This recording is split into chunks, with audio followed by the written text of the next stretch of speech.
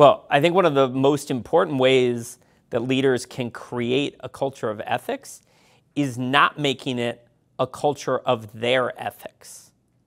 And because ethics have to feel authentic to the individual and to the moment. And the ethics of Dan Helfrich are not by definition the ethics of Deloitte or the ethics of another individual. And so, how do you get an ethical mindset into the culture of an organization? The way I've done it is A, to highlight those that have taken important ethical stands and use the platform that I have to communicate to on town halls or otherwise highlight individuals and moments where it's clear that ethical choices were made.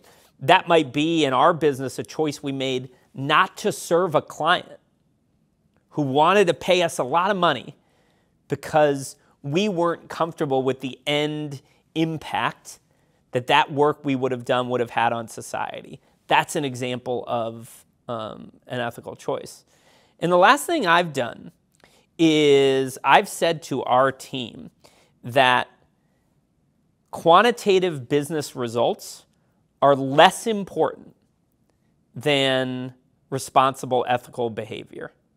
And that in a choice, where those two things are weighed against one another, which hopefully they aren't often, but in reality it sometimes happens, that we want a culture and we will back it up with who we reward, the people that choose the responsible, high integrity pathway at the expense of quantitative business results. And if you can communicate that and stand by it, then the culture of ethics will permeate the organization and it will live beyond you as an individual leader.